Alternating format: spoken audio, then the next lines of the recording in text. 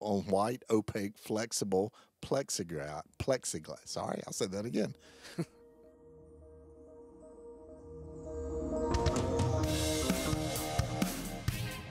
Hey everyone, it's Elliot. And Todd, welcome to Two Designers Walk Into a Bar, an ongoing conversation about pop culture and iconic design.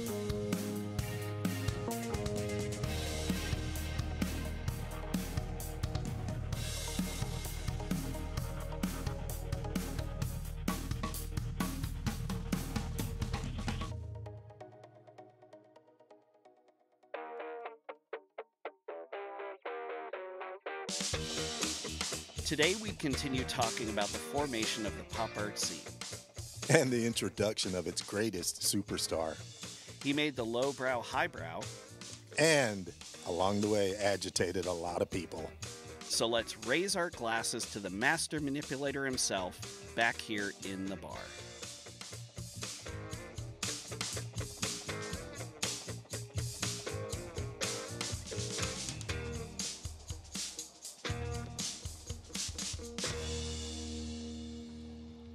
Uh, uh, so we're back in the bar, right? We're back in the bar. Uh huh. Yep, we Uh, sure here we are. are. Here we are. Here we are. So, Elliot, Yes. do you have a favorite album cover of all time? Oh wow. Uh, hmm. I'm not sure I can. It's like Lay's potato chips. I'm not sure it could be just one, right? Oh, I, I thought you meant you like salty album covers. No, no. Okay. Okay. That reminds me of a story with you with a bag of chips. Uh, let's let's don't go into that right now. Oh, I ask a question, you can answer. Okay. Uh, a few pop into my head as you ask the question. So, one that is sort of iconic from, um, you know, well, actually, several, I think, from when I was in high school or in college. Yeah. Or heck, even in middle school for one of these. Now that I think about it, so uh, Red Hot Chili Peppers, Blood Sugar Sex Magik. I mean, that was Oh, yeah. you know pretty amazing. Um, a lot of uh, Vaughan Oliver's work for bands like the Pixies, all his symbolism and things like that, and Mm-hmm. um, I really like that. And I'm gonna drop a little hint here because in future episodes we will be talking about some of his work. So stick a pin in that. Easter egg. And then the the Beastie Boys' first album, the plane crashing and License to Ill. Yeah. I love that. Yeah, yeah. I love that. And then collages from the Dead Kennedys. We've talked about Winston K. Smith and his work. we do love Winston K. Smith, don't we? Yes. So I would say, I you know, I don't know if I can, and I'm not even going to get into, you know, some of like the metal bands from the 70s and the 80s, some of which Yeah, we yeah. touched on with our bar snacks with our friends. I mean, we could be here all day just talking about this. Um, Yeah. but nevertheless, I mean, in the age of digital downloads, it's really kind of a, a lost art form, right? You know, it's not Yeah, it's not it's a postage stamp, right?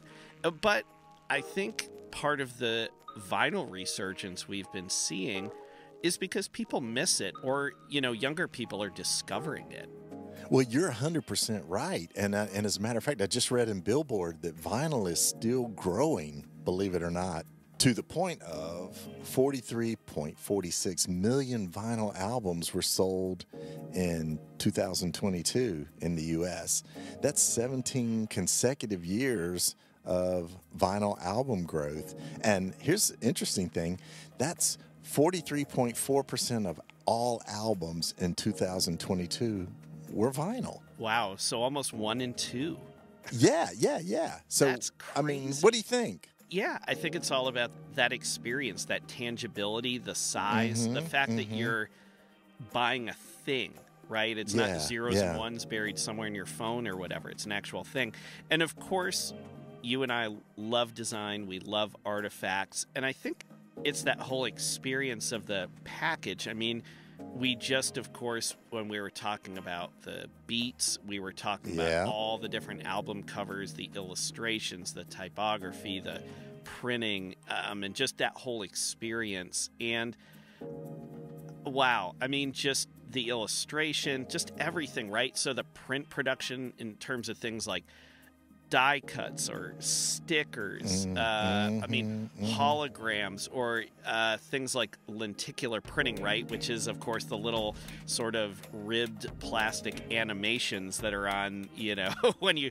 uh, probably right. a lot of people, if, if you're familiar with that, you would have gotten like a Cracker Jack prize or something. That Right, right, right. Yeah, yeah.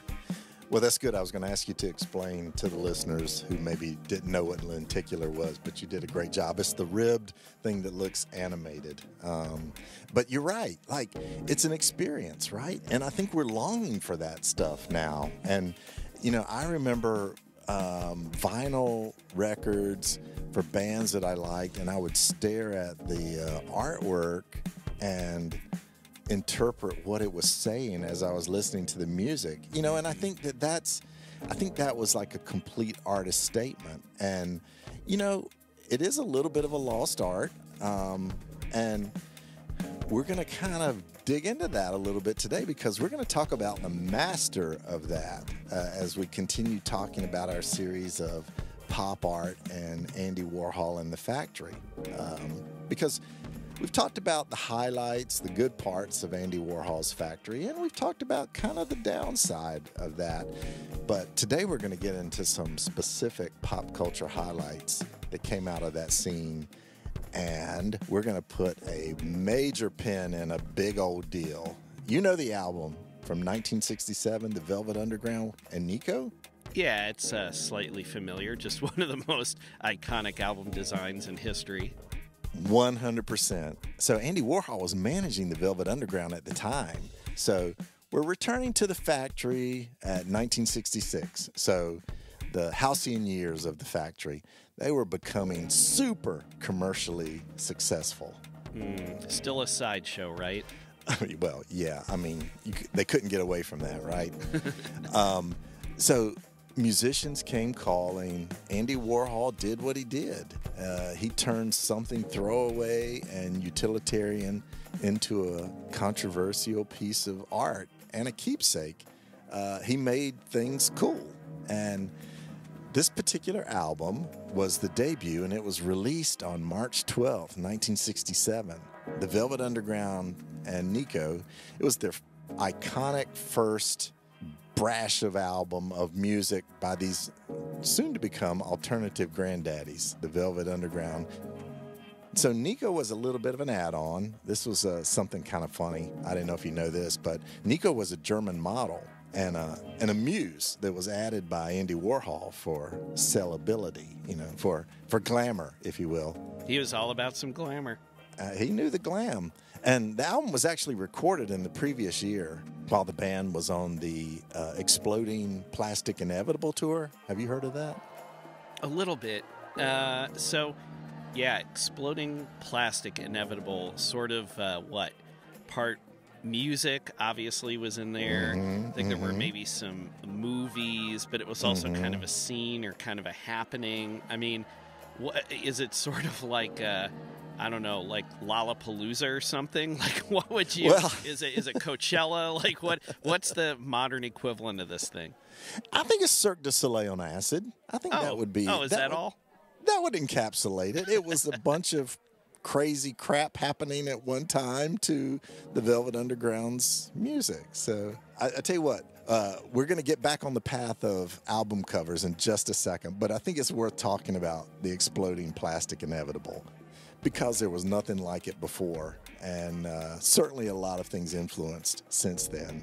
What it was was a series of multimedia happenings Mm, okay. not only featuring the music of the Velvet Underground and Nico, but they also featured screenings of Warhol's films, along with, I'm doing air quotes here, if you can see, dancing and performances by factory regulars. so, you know, it was like, eh, okay. But initial shows were done at this club called the Dom in New York City, down in the East Village. The Dom was at 19 through 23 St. Mark's Place, and they were done throughout April. Uh, actually done for many months, but that's where it started. Was in April of 1966. Okay, so this is going on before this out. You know, you mentioned Oh, yeah, the yeah, album was yeah, released, yeah. but even before it was recorded, it sounds like. Yeah, exactly, exactly. And so the thing that you talked about, like with uh, the Velvet Underground being sort of like uh, very iconic alternative music, Yeah. it really did sort of set the pace for a lot of artists. But um, it wasn't Andy's first rock experiment, as I, I came to learn. Um, and you're going to love this. You're going to love this. Okay, I- hit- you hit don't know this story, but I'm going to tell you. I'm curious now. I'm gonna tell you something that will make you want to get kicked out of an Outback Steakhouse right now. So, Again? uh, yeah. Okay. So as early as 1963, Andy was forming a band called the Druds. yeah. Okay. Wait a minute. Wait till you hear who was in the band, dude. All right. Okay. Claes Oldenburg and his wife Patty, All right. Jasper Johns, Uh-huh. uh, this happening artist Lucas Samaras, Okay. uh, minimalist sculpture, Walter De Maria, uh, minimalist composer, La Monte Young, and painter Larry Poons. And so Claes Oldenburg's wife, Patty, sang lead. Occasionally, Andy did too. And Jasper wow. Uh, Johns. okay. I, I yeah, yeah. Hold on, it gets better. Jasper Johns and Andy wrote the lyrics, and some of Andy's songs were movie stars, Hollywood, and Coca Cola. All right. I have so many questions. I mean, Yeah. uh, I guess the first one is: Do recordings of this exist? Can you find I have not. anywhere? You know, that was my first question, and I have not found anything uh, at all. So maybe they were wise and destroyed those recordings. Oh man, we gotta we we might have to do some deep research. Okay, and then I guess my second question is: Were these guys the first uh, true art rock band? You know, probably, or the first one of any note. Um, you know, but again, the the first commercially sort of successful was uh, the Velvet Underground. But Sure, let- Let's, sure. talk a little bit about well, that's that. the that's sort of the whole med and art school kind of thing, right? I Yeah, mean, there's yeah. We could do a whole. Yeah. Heck, there probably is a podcast series about bands that met in art school. yeah, we wouldn't have Talking Heads if it wasn't for wouldn't have Queen. I mean, there's a number of bands we wouldn't have. Rolling Stones, right? Yeah, Okay, so yeah, so this sounds like it was maybe not the greatest thing in the world if recordings don't exist of it. Because you would think Andy, the guy who saved everything, he would have certainly saved this stuff if it had been decent. yeah, that's what I was thinking too. But maybe he got distracted when the Velvet Underground and Nico came along. And um, regardless, so let's talk about this album. It was experimental. I think you would say that. It was um, kind of odd performances by Lou Reed and Moe Tucker, Sterling Morrison, and of course uh, the great John Cale. hmm who rocked his electric viola, as well as some controversial experimental lyrics, including drug abuse, prostitution, little sadomasochism, and sexual deviancy. So these guys were really sort of children of the beats in the truest sense, it sounds. Yes, hundred percent. Total. Like Lou Reed, who was the lyricist, was totally inspired by the beat writers, uh, who you know he kind of continued their tradition of bringing America's underbelly to pop culture. Love it. Yeah, yeah. So you know, picking up where where your buddies uh, Ginsberg, Kerouac, Burroughs left off, and making money off of it too. Right. Um, so I think it's pretty well known that uh, Andy was their manager, was the Velvet Underground's manager. Are you still doing air quotes?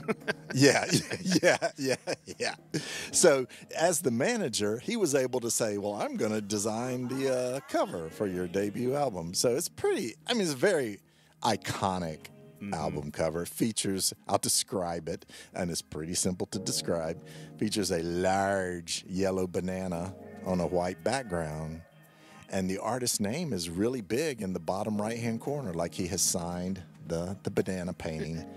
but no mention of the band name on their debut album.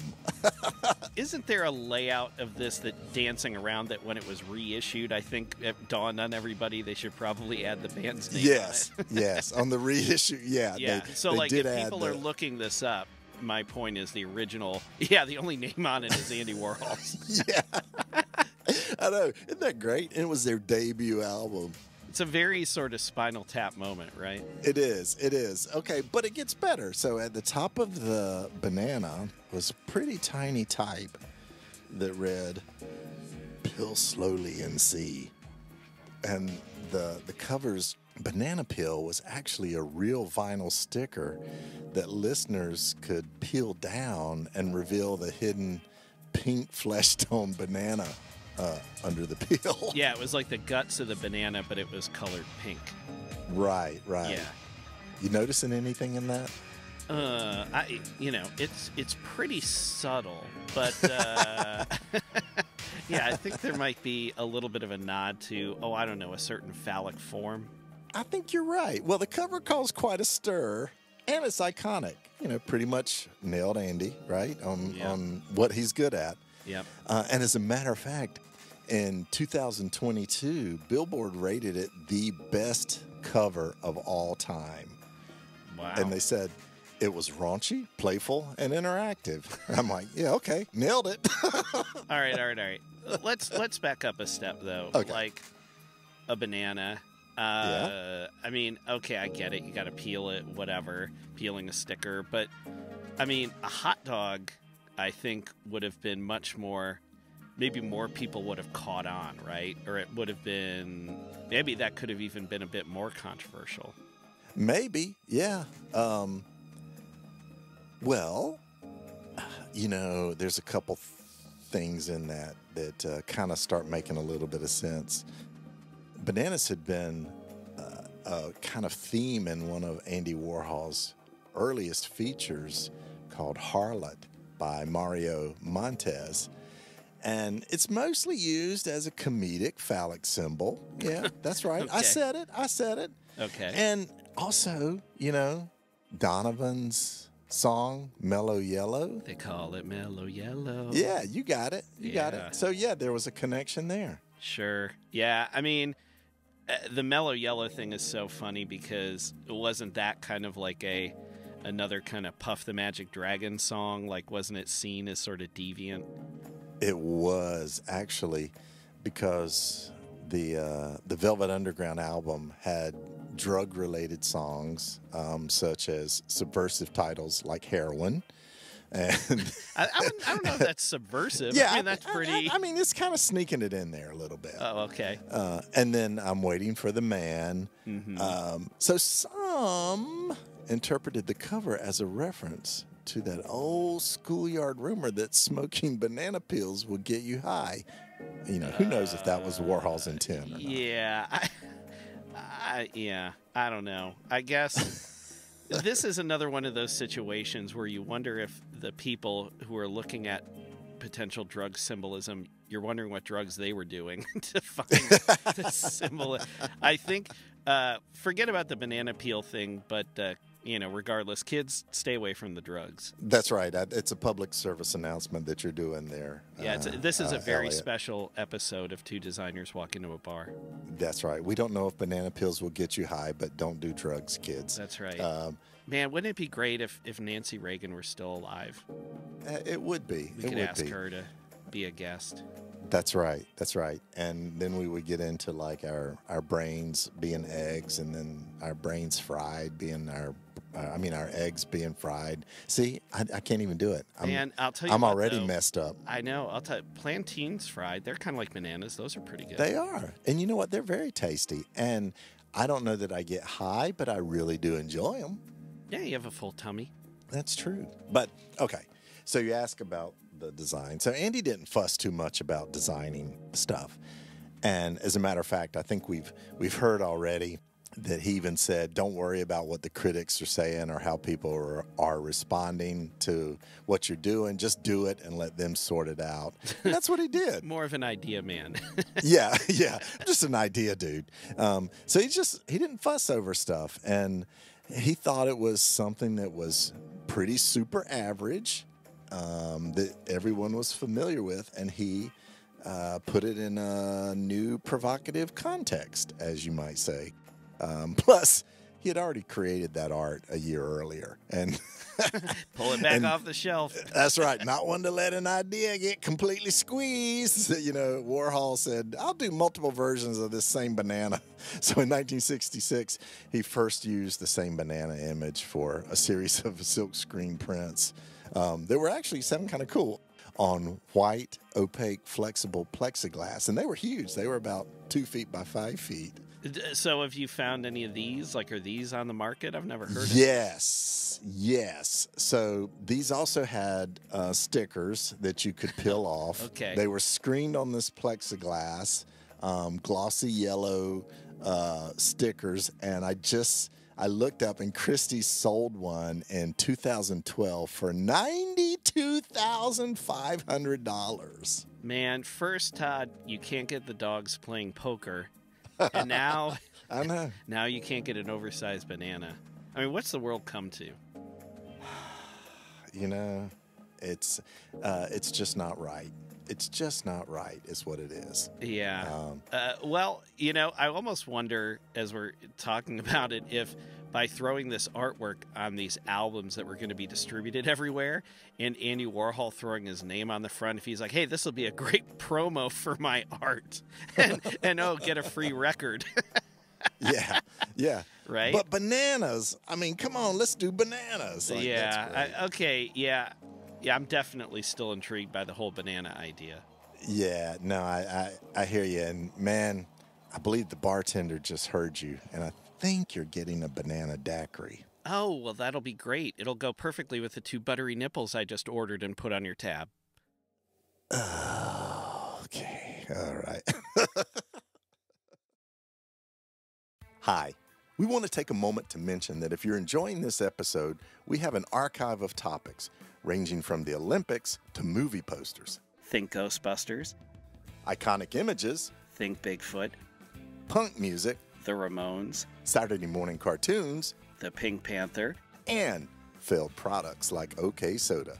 Visit our website at two designerswalkintoabar.com for full episode notes and visuals, the latest blog content, and to sign up for our newsletter. Follow us on social media. We can be found on Facebook, Instagram, Twitter, LinkedIn, and YouTube. Find the links on our website or search using the phrase Two Designers Walk Into a Bar. Most importantly, leave a review on Apple Podcasts. It helps more people like you find podcasts like this. And tell a friend about us. Send them a link to our podcast from your listening platform of choice. And if you're inclined, buy our merchandise stickers, coasters, magnets, t shirts. We're designers, we make good stuff, and it helps support the show. Get in touch. Use the contact form on our website or send an email to hello at two designerswalkintoabar.com. We read every message we get, honest. And we're available for speaking gigs. Email us to learn more. Okay, now back to the bar. Okay, Todd, as I mentioned a minute ago, I'm still intrigued by the whole banana idea. I, no truer words were ever spoken, right? Was it just breakfast time for this cat? It's like there's a banana, or again, this artwork was lying around. Do we photograph it and call it a day? I mean, why did he, why a banana in the first place? I mean, well, yeah. I mean, if it was like normal, that would be boring, wouldn't it? yeah, absolutely. Yeah, I mean that's no. Oh man, Uh, this is so funny. You're gonna love this because I dug up a really interesting story about this. The image of the banana. You may find this funny. Was actually not created by Andy Warhol. It was lifted from one of those old triangle-shaped tin ashtrays that you would find in a tire shop somewhere. what? yeah. That's yeah, awesome. exactly. That's And crazy. now, okay, and you know how I love a thread that ties things together. Yeah. The bass player for Danzig is the one who put this together. Art detective bass player. yes, exactly. Yeah. So there's a blog called Dangerous Minds Blog, and um, Michelle Pfeiffer edits it, right? that's right. Yeah.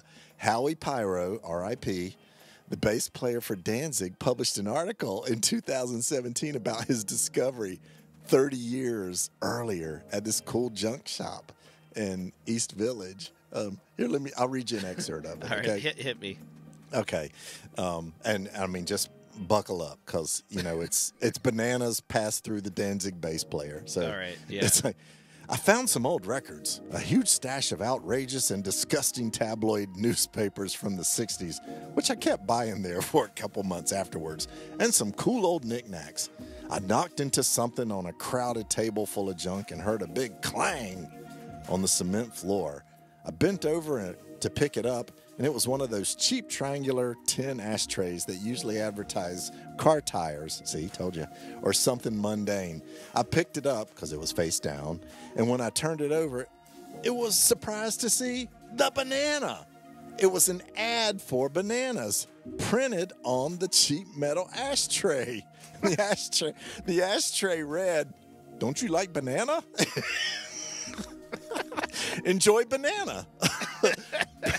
Presented by Wing Corp, designed by Leo Kono Production. What the hell? So, not only an absurd phallic reference for an album cover, it was actually lifted from a tin ashtray produced in China. Oh man, just just you know what, Todd? I I hate to say it, but we keep peeling back the layers. Oh, I'll see. I'm gonna let you get away with that one because that was too good. But you're right. Uh, we just we cannot get enough of the banana, can we? No, yeah, the story just keeps getting better and better. It does. It does. Okay, let's uh, let's set that aside. Let's set the banana aside for a second. I'm going to switch gears here real quick and talk about another prolific creative that made his career designing for the record and entertainment industry, and he plays an important part in this story because. As we said, this was the Velvet's debut record, and it was rejected by eh, basically everybody Columbia Records, Atlantic Records, Elektra Records. And I know you're going to ask, Todd, why was it rejected by so many record companies? Well, they said they cited reasons. They were like, well, there's a little too many drug references, and we just can't take John Cale's viola. So Andy Warhol as manager is only so persuasive, as it turns out. That's right. That's right. Few people saw the uh, the joy of Andy Warhol's management, but ultimately, the Velvets uh, landed at Verve Records, and the project of their head designer, a guy named AC Rudy Lehman. Okay, AC. Well, this is so Verve Records. That's great because, of course, Verve Yeah. was a very seminal jazz label. Yes, And, yes, you know, and you okay, so they drop there. Okay, so they're, you know, maybe Verve is a little more open-minded to alternative forms of music. So that, okay, I'll I'll Yeah. I'll believe that. But okay. I'll tell you what, I'm not going to believe. AC, that was the guy's name. Come on, It was the guy's name. That was his. Um, that was his uh, real name. He was like the second, and I, I don't quote me on this, kids, because I think I saw this, but I, I didn't write it down. I think his dad, uh, who was you know AC Rudy Lehman the first, I think he went by the name Crapper or something like that. so So you even know, he, didn't. he thought AC was too cool. He's like, Yeah, yeah, yeah, yeah, yeah. I know. I, I, I know. I, I, I should have written that down, but I think I saw that somewhere that his dad was, uh, you know, uh, had a had a, quite an adventurous name. But anyway, let's get back to AC for a second. We're taking detour upon detour here to talk about this album cover, because if it wasn't for AC, we would never have known about this. He was the head designer, and he agreed on a really unusual and terribly expensive gatefold cover for this one single debut record, this album. He also agreed on Warhol's signed artwork and Pillable Banana on the front without the name of the band mentioned. So this was purposeful. Like, so Warhol's Yeah, like, hey, yeah. this is how it's going to go down. And he was like, Yeah. that sounds good.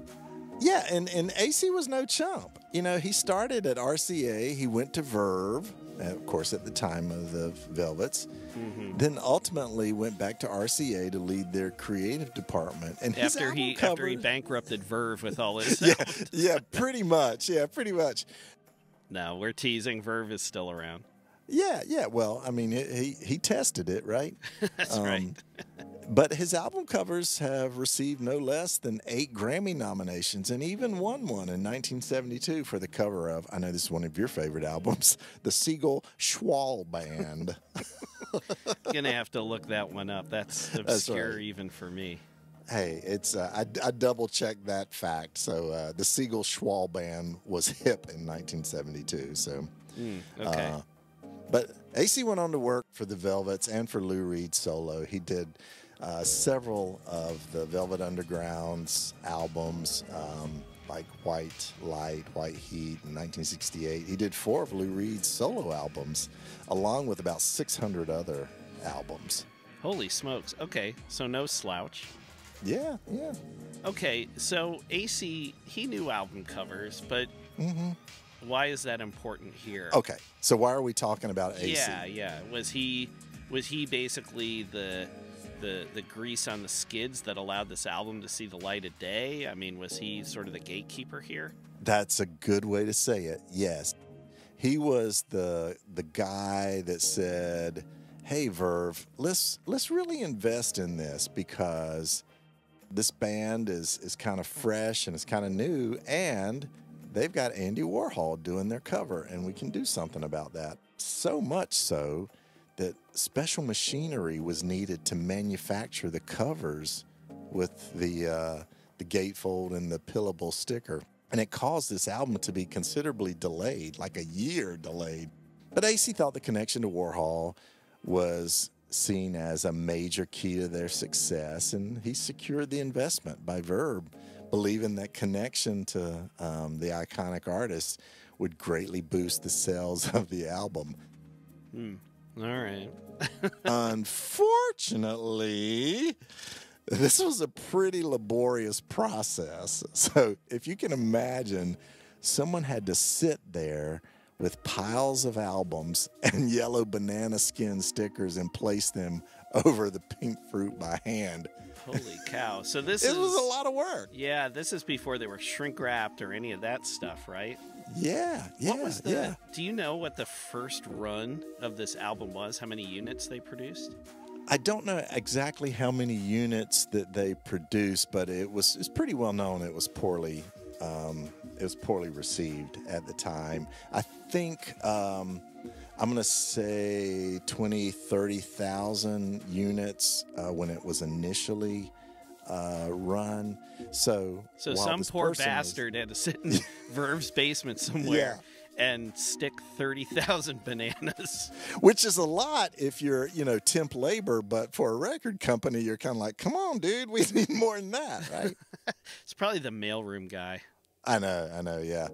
Um, but this, this sort of poor performance really strained uh, Warhol and Lou Reed's relationship after that. So. again, manager in air quotes. Yeah, right, right. Manager, banana pill, labeler, um, opportunist artiste. potentially. Yeah, yeah.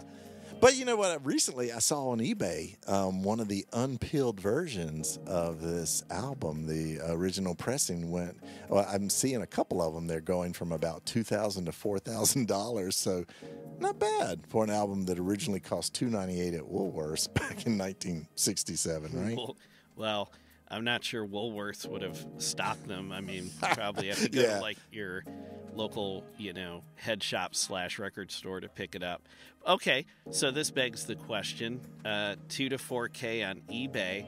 You couldn't get the dogs playing poker. You couldn't no. get the giant uh, banana. Are you going to pick up one of these? Well, you know, oddly enough, um, we do have opportunities to buy this artwork, um, but it, it is not in its original form.